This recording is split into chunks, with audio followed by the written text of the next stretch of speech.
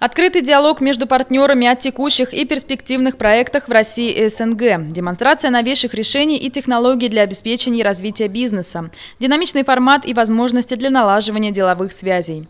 Международная конференция Satellite Russia NCIS 2016 вновь стала площадкой для обсуждения горячих тем и обмена опытом между российскими и зарубежными игроками рынка спутниковой связи и дистанционного зондирования Земли.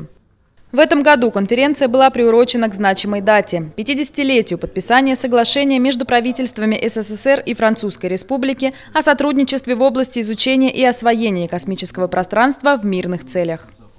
Спутниковая связь – это важная часть телекоммуникационной отрасли, которая позволяет быстро и эффективно осуществлять распространение качественного теле- и радиосигнала, обеспечивать телефонную связь, доступ к интернету и новейшим мультимедийным услугам, э, вплоть до там, госуслугам и так далее. Образование, медицина. На единственном в России независимом мероприятии, где обсуждаются все аспекты космического бизнеса, собрались представители госструктур, операторов орбитальных группировок, производителей космических аппаратов, поставщики спутниковых телекоммуникационных и геоинформационных услуг. Генеральным партнером форума выступил российский спутниковый оператор «Газпром Космические системы». Генеральный конструктор компании Николай Севастьянов принял участие в круглом столе «Россия и Франция. 50 лет в космосе». Он рассказал о сотрудничестве с французскими компаниями при создании системы спутниковой связи «Ямал». У нас четыре спутника, и в трех из этих спутников есть участие французских компаний. Самый старый наш спутник Ямал-202, который был еще запущен э, в 2003 году, он э, был изготовлен в РКК «Энергия», но в нем использовались комплектующие компании «Alcatel». Сегодня вот эта группа, та часть «Alcatel», «Alcatel Space» входит в компанию «Thales Alenia Space». И мы видим надежную э, работу этого оборудования, отсутствие отказов и замечаний. Также спутник Ямал-401 был изготовлен у нас в компании российской ИСС Решетнев, но уже полез в нагрузку поставляла компания Thales Alenia Space. И тоже мы благодарим за вот эту хорошую работу. И один из спутников э, нам мы полностью изготовили в компании Thales Alenia Space. Э, Thales Alenia Space выиграла конкурс, это она стала победителем конкурса на поставку спутника Ямал-402 и изготовила и поставила абсолютно в сроки, что очень важно для коммерческого бизнеса. Во время конференции Николаю Севастьянову была вручена благодарность министра связи и массовых коммуникаций Российской Федерации за значительный личный вклад в развитие космической инфраструктуры. Сотрудники предприятия также приняли участие и в других сессиях. Второй день конференции прошел в телекоммуникационном центре «Газпром. Космические системы» в Щелково. Темами обсуждения стали вопросы дистанционного зондирования Земли и предоставления геоинформационных услуг. Гостей приветствовал генеральный директор компании Дмитрий Севастьянов. Он рассказал о направлениях деятельности компании и пожелал форуму успешной работы. У нас два основных вида деятельности. Это предоставление спутников телевизионных, телевизионных услуг и вот новое направление – это предоставление информационных.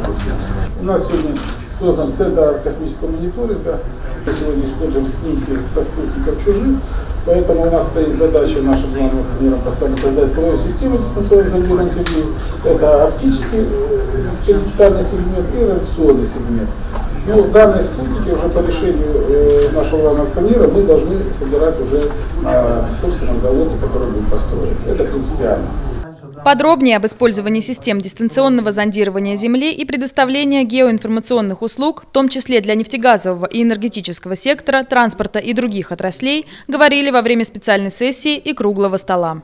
Ну а после гости осмотрели инфраструктуру телекоммуникационного центра «Газпром Космические системы», включая Центр управления спутниками «Ямал», антенное поле и мощности, обеспечивающие предоставление разнообразных телекоммуникационных услуг и услуг аэрокосмического мониторинга. Нам, конечно, приятно, что э, общественность проявляет интерес к нашей деятельности. Конференция, я считаю, прошла успешно и вчера, где обсуждались в основном вопросы спутниковой связи, телевидения, и сегодня э, вопросы дистанционного зондирования Земли. Я считаю, что тема интересная, э, деятельность очень полезная для экономики. Ну и надеюсь, что мы будем развиваться дальше и э, в этом направлении. По словам участников конференции, Satellite Russia NCIS 2016 оправдала их ожидания и стала заметным событием для профессионального сообщества. В свою очередь, деятельность спутникового оператора «Газпром космические системы» была оценена. Я приятно удивлен находиться сегодня здесь. Я здесь впервые. Я был рад увидеть э, территорию «Газпром Космические системы», спутники оборудования, антенны. И в дальнейшем я очень буду рад сотрудничать с компанией «Газпром Космические системы» в рамках аэрокосмического мониторинга. Олеся Богданова, Александр Аржевский, телерадиокомпания «Щелково».